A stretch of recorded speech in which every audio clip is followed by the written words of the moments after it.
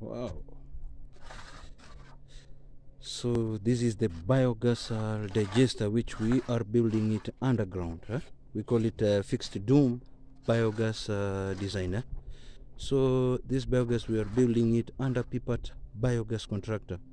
So as you can see now it is the time which uh, the backfilling is being done and also the excavation for of uh, the inlet pipe is undergoing. So as you can see this is the team which I'm working with them.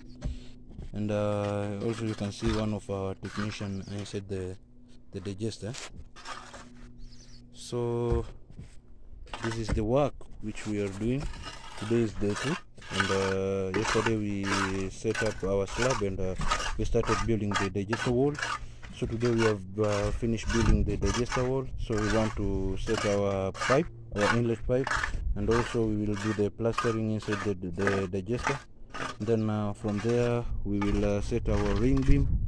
And then after our ring we will start building the dome the gas storage yeah?